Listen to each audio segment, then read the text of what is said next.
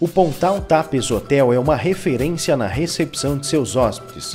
Com quartos pensados para o seu sossego e tranquilidade, o hotel conta ainda com restaurante, piscina térmica, quadra poliesportiva e um belo mirante à beira da Lagoa dos Patos. Reserve um final de semana esplendoroso para você e sua família.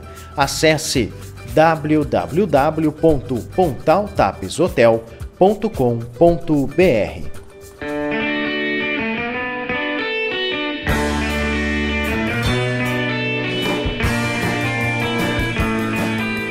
A dica de verão de hoje é sobre o cuidado com as águas desconhecidas.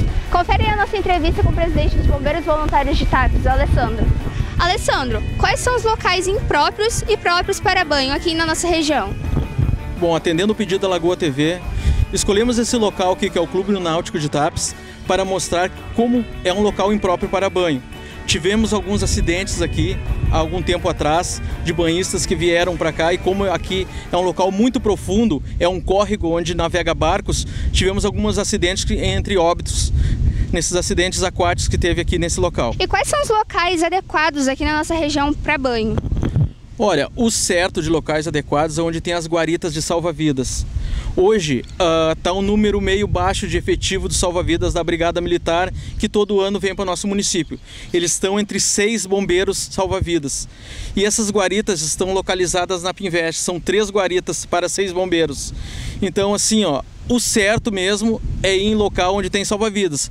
Mas como a nossa extensão de lagoa é muito grande, né, então o pessoal aqui do centro eles não vão todos para Pinvest, eles procuram muito a Praia do U, sempre procurar um local assim que tenha bastante pessoas, né? sempre nunca se afastar tanto da população, entrar praia muito adentro, assim, local muito profundo, sempre respeitar assim um limite máximo assim com a água mais ou menos pelo umbigo, né? uh, nunca pegar assim, deixar crianças tomar banho sozinho, se tiver crianças junto e quererem entrar na água, sempre ao alcance dos olhos, sempre na beirada da lagoa para evitar algum tipo de acidente. E em casos de lugares sem guaritas, se houver algum acidente, algum afogamento, a quem a gente deve recorrer? Bom, uh, no local onde tem guaritas, a responsabilidade são da Operação Golfinho.